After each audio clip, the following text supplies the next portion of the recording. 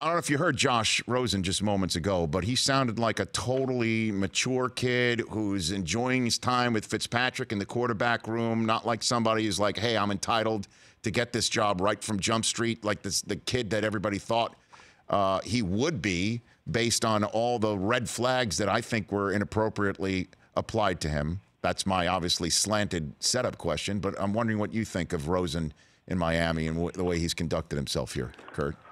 But yeah, I mean, I think the way that he's conducted himself has been nothing but class.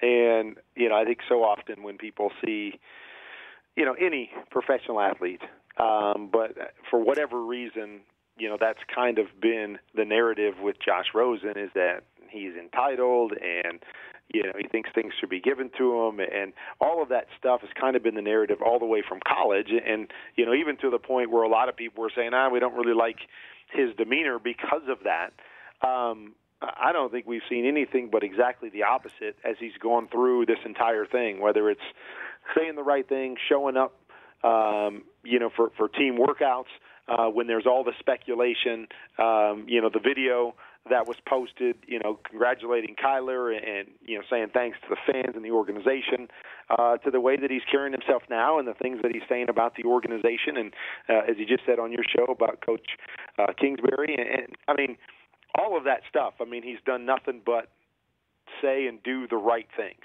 And, you know, whatever has brought that about, is that who the young man has always been? Has it been through different trials and challenges? Sometimes that, um, you know, that matures us and that allows us to grow up and step back and, and see the big picture, um, you know, with with things that are going on. I don't know what it is, but um, all I know is he's handled it with uh, a great attitude, with class uh, and he's looking forward to the new challenge.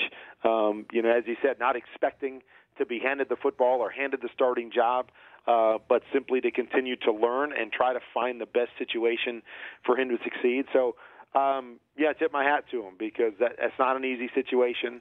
Um, you know, it's not even easy to say the right thing all the time. Um, and you know, he's done nothing but uh, but carrying carry himself the right way, um, and that would have to excite me uh, if I'm the Miami Dolphins with the way that he's done things and the way that he's really set himself up as he enters our organization. And obviously, we're going to see a lot more of, of who this guy is as, as we move forward. But um, you know, but it, but it excites me that we made that move and we're getting a kid that seems to be very mature um, and accepting of the situation that he's in now and excited to work and uh, and try to earn the position. For more of the Rich Eisen show, tune to Audience Channel 239 on DirecTV for free on BR Live or download the Rich Eisen show app.